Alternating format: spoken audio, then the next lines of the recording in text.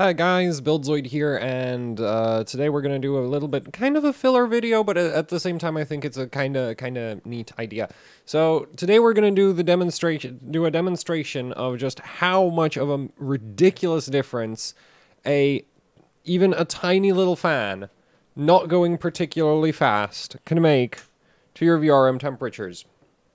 Okay, so, um, here is the tiny little fan. I, I, think it's like 40 or 50 millimeters. We're, we're going to throw it on the VRM of this here Asus Z390-A motherboard. Thank you, patrons, for funding the purchase of this thing. As you can see in the background, uh, on in the here, right, where we're here, we are running 5.1 gigahertz. Um, CPU is not overheating. We're just running some Cinebench R20. It's not that hot. It's not that heavy. But the, the VRM temperature in the bio, uh, it, from the motherboard readout, which I didn't realize this board had a temperature readout. So it does have one. You just have to enable the Asus EC sensor monitoring.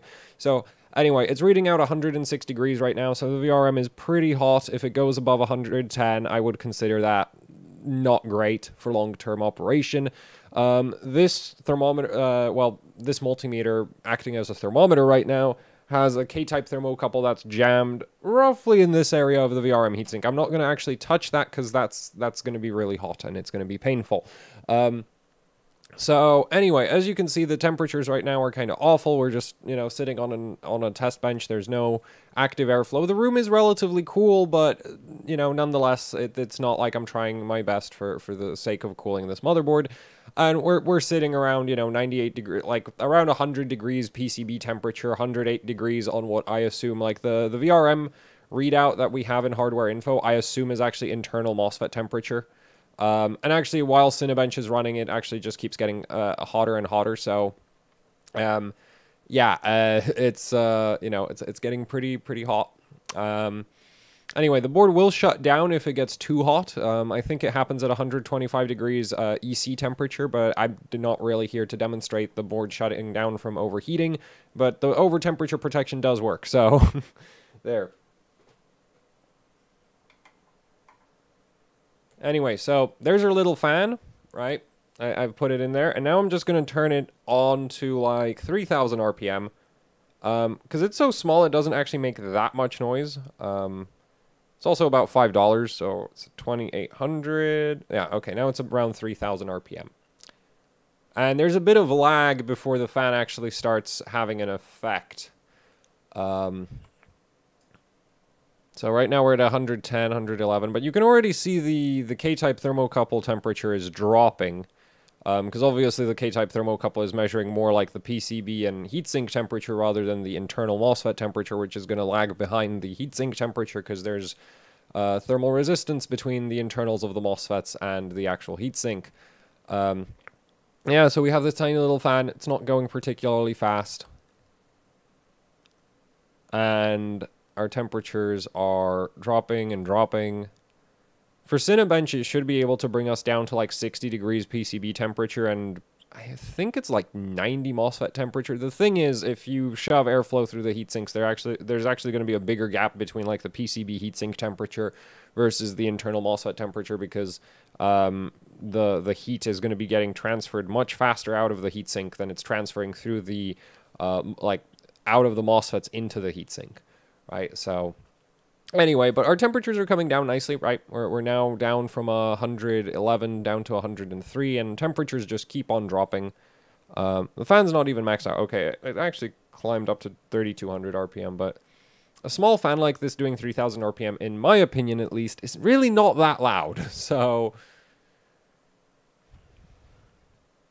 yeah, and now we're at 100 degrees which I would consider these temp like the current operating temperatures, which are still dropping, right? I would actually consider this completely ac acceptable for, for long-term use because the MOSFETs can tolerate relatively high temperatures. Um, it's more the components around them that, like your capacitors, aren't really rated. Like they're rated for 105 degrees, but at that point their lifespan is measured in, you know, a couple thousand hours. And if you're going to be doing, let's say, you know, rendering constantly, um, which the 9900K isn't really a good fit for that these days anymore. But let's say you were doing that with the 9900K. Uh, yeah, you, you wouldn't really, like, you would want a little fan on your VRM like this. Um, because it just ma makes such a massive difference to the temperatures. Um, and you might be at this point like, okay, but how do I, you know, like Buildzoid, I don't have a, a horizontal test bench for my system, so how would how how do you attach the fan? Well, have have you heard of zip ties? Because um, if you have heard of zip ties, that that should be pretty self-explanatory. You can get very creative with them to to attach anything to anything. Um, right? So, and especially with a little fan like this, it doesn't weigh anything. You don't need it to be particularly like uh, rigid in its mounting. I guess it might rattle around if it's really loose, um, so that might be annoying. But um, yeah, and we're just gonna let this run run for a bit because you can see the temperature just keeps coming down. I'm actually gonna max the fan out. It doesn't it doesn't have a, a very high max RPM. It's like 30. Okay, it's a little over 4,000 RPM, max uh, full speed, right? I I still think it's pretty quiet. Um, anyway, the fan's like five bucks, so you know. Uh, it's I think it's like a fractal design 40 millimeter that I bought specifically, basically for cooling VRMs on motherboards like this, where it's just like the VRM is decent, but the heat sinks just like thermally like it, it just can't keep up. So yeah, apply a little fan and uh, there, you know, te the temperatures just keep coming down. Actually, why did hardware info disappear? There we go. Right, and then core temp. Core temp's clock readout is wrong for some reason. I'm not sure why that's happening. But yeah, now, now we're in like low 70s, and I'll, I'll turn the fan down again because...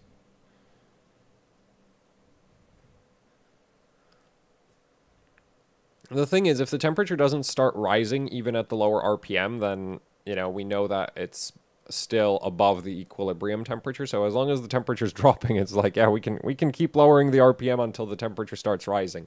So right now I've pulled it back down to 3,300-ish. Uh, Go. Okay, now it's like 3,100 RPM.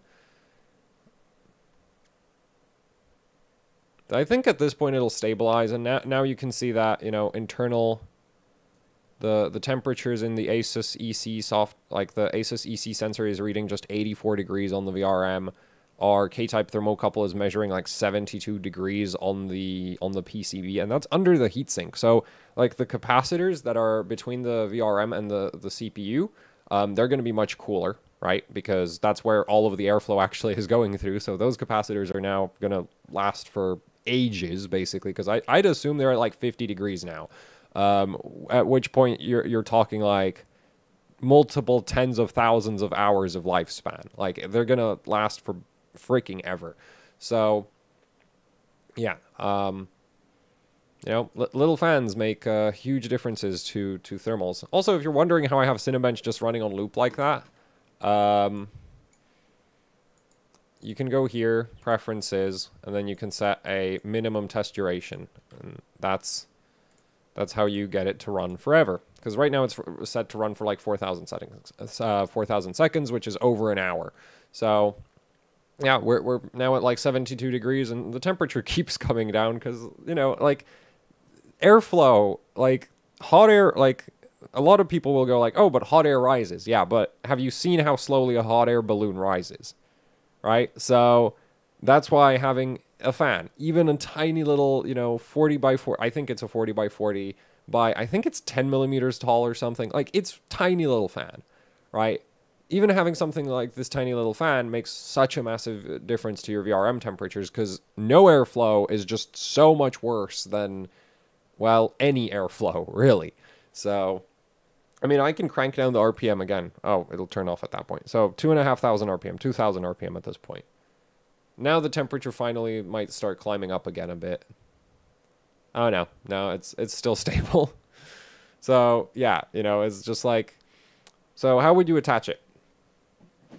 because um, I assume some you know some people might be like, yeah, okay, that's that's all very well and good, but um, even even if you say zip ties, like how would I attach it with zip ties? So just gonna put this out of the way, and actually I'm gonna shut down the system because I don't really want to like be zip tying things on a running system. It's shut down, right? Yeah, it's shut down.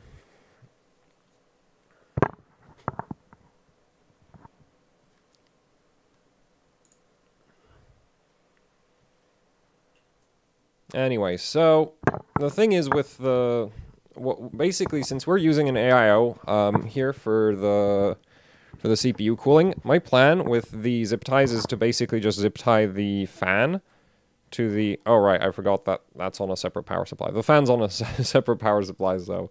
Anyway, um, my plan is to basically use the mounting hardware of the AIO, just loop a zip tie around that, then... Uh, actually, at that point, we can, like, we could jam it in, like, right here, but if we wanted specifically in this location that I had previously, then... Uh, like so. And I like the the reason why I actually went for like this corner is one, it actually sits there on its own, but two, um, it sort of jams air into sort of around both sides of the AIO, right? Like th this way and this way.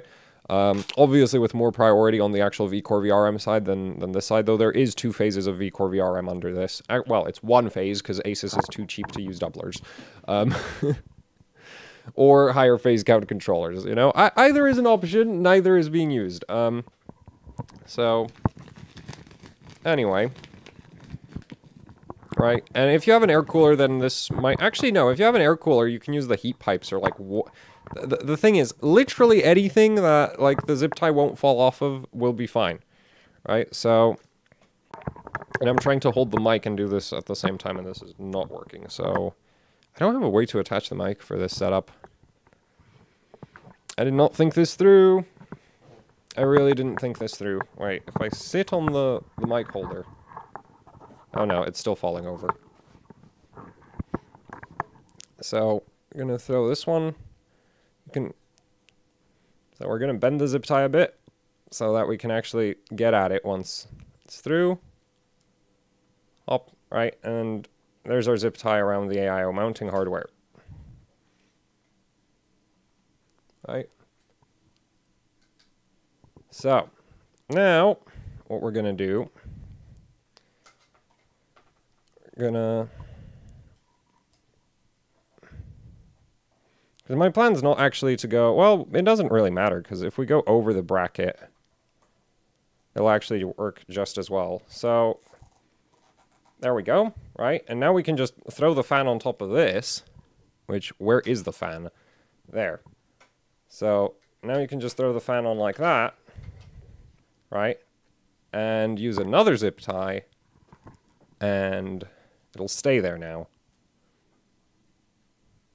Right, you just throw on the next one like that, and ta-da! And that's one way to like zip tie a fan to a VRM. Obviously, if you wanted to be more stable, you can use more zip ties than just one. Um, then I'd probably actually throw a zip tie around the 8-pin over here.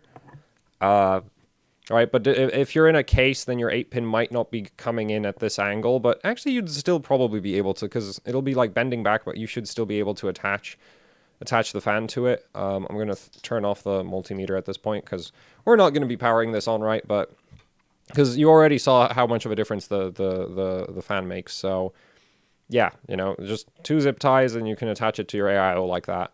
Um, that's, that, like th this is the thing is like, you know, I, I, well, this video is like, it's really late because, but in some video I was like, look, just, just jam a small fan somewhere near the VRM and you'll be golden in terms of VRM temperatures.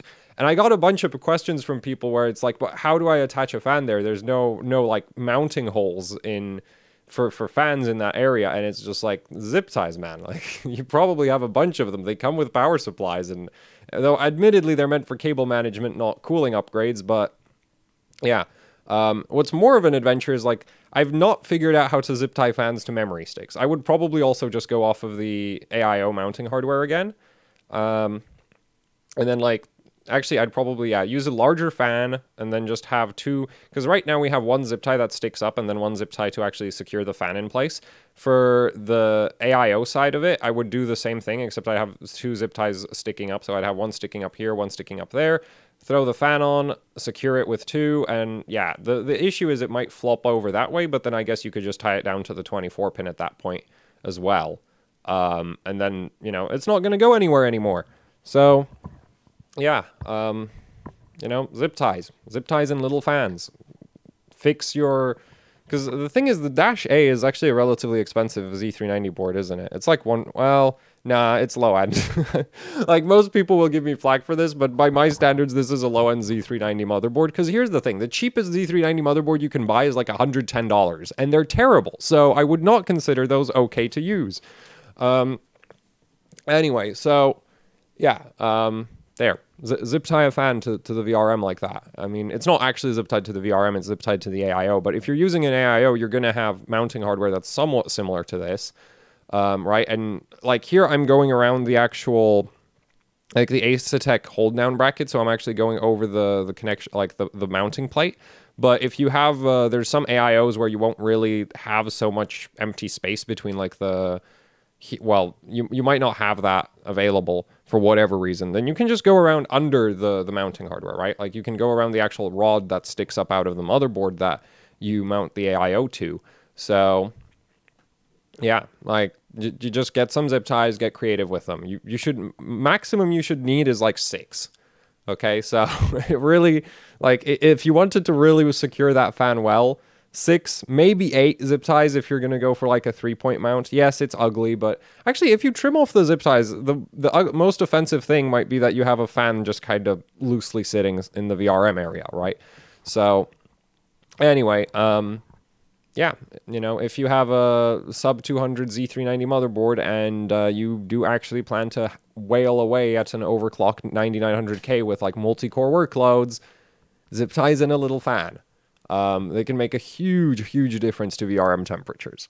So, yeah. Anyway, that's it for the video. Thanks for watching. Like, share, subscribe, leave any comments, questions, suggestions down in the comment section below. And if you'd like to support what I do here with actually hardcore overclocking, I do have a Patreon. There's a link to it down in the description below. It helps out immensely because it allows me to do things like buy this motherboard um, for testing as, as well as the fan. Um, which, like, well, you know, a single a single patron can fund that fan entirely, or a single shirt purchase. Um, which uh, there, that's a great transition, isn't it, to the HOC Teespring store where you can pick up shirts, stickers, posters, and yes, I do actually like. The, the reason I go with Teespring is if you buy one shirt from my Teespring store, I can actually pay for a fan like that. So, um, like the the it, the Teespring gives me a very large cut on on any merch sold. So um, yeah, if you don't want to use the Patreon, Teespring is great. Like it's not like I've had a few people suspect that it doesn't pay that well, but no, it pays great. That's why I use it. Um, so yeah, it's also really convenient to set up. That's that's the other reason why I use it. So yeah, that's it for the video. Thanks for watching and goodbye.